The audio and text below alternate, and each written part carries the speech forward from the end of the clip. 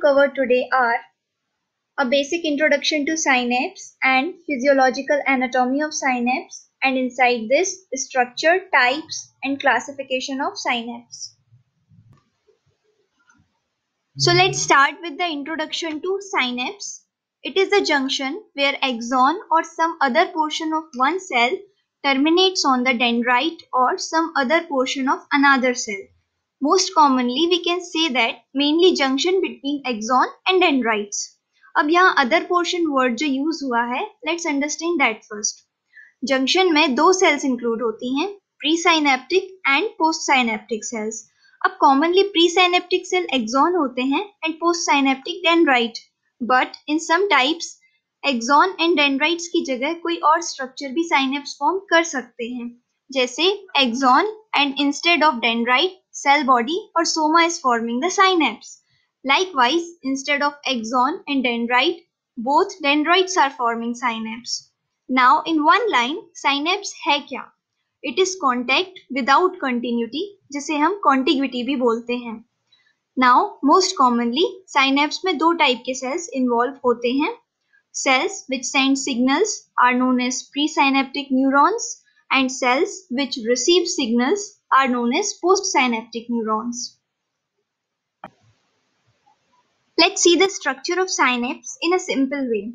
Here in this diagram, this is synaptic knob. It is a bulb-like portion of presynaptic axon terminal.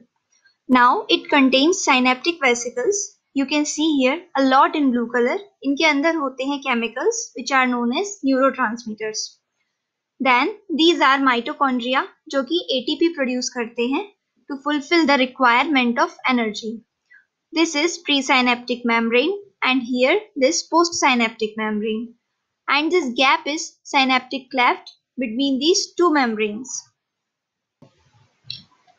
Now there is one more important thing we should know that is neurexins.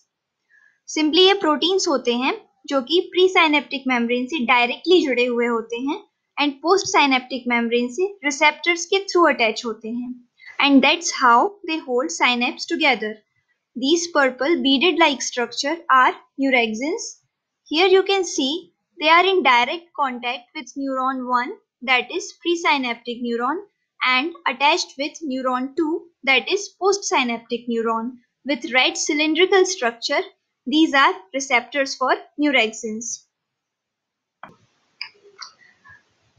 Next is types of synapse.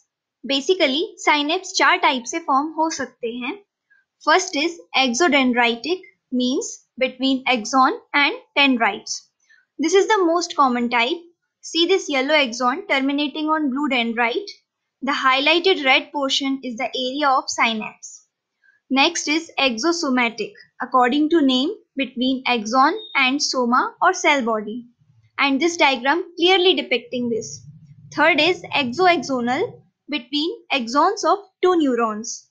And fourth is dendrodendritic.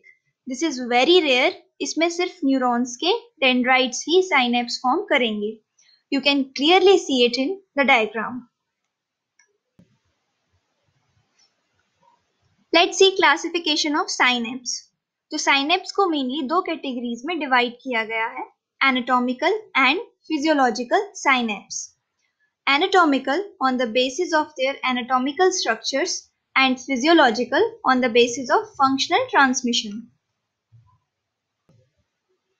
So anatomical classification further has two types, type 1 and type 2.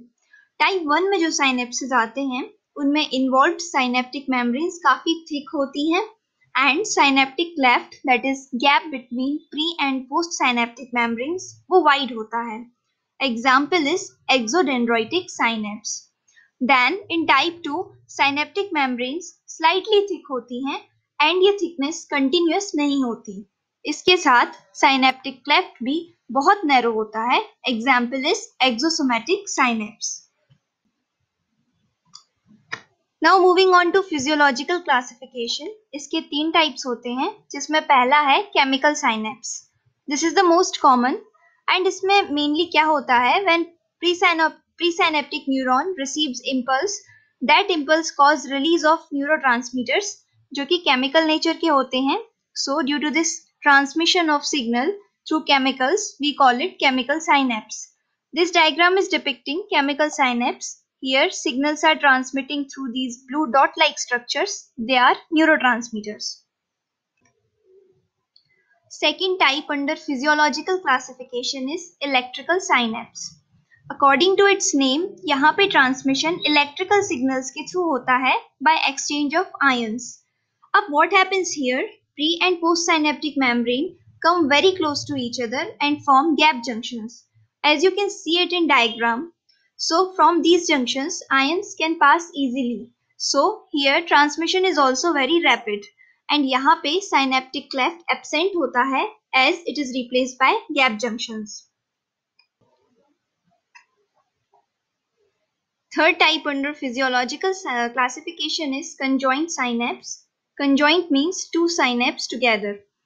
यहाँ पे chemical and electrical दोनों type की synapse एक ही synapse एक ही जगह coexist करते हैं this diagram will clear it this is pre synaptic neuron and this is post synaptic neuron Here you can see information is transmitting through both neurotransmitters and gap junctions. Now let's see some major differences between chemical and electrical synapses. In chemical synapse, transmission occurs through chemical signals, while in electrical through electrical signals. Chemical synapse में signals के mediator neurotransmitters होते हैं And electrical में ions जो कि gap junction के through जाते हैं। Chemical is most common type while electrical synapse occurs in few locations chemical synapse में synaptic cleft and hence synaptic delay दोनों प्रेजेंट होते हैं। While they are absent in electrical synapse, hence transmission occurs very rapidly so that's all for today we will discuss about electrical events of synapse in our next video. Thank you so much for watching and notes link is given in description box. Please subscribe our channel for more content like this and tap, tap, and tap the bell icon for regular notifications.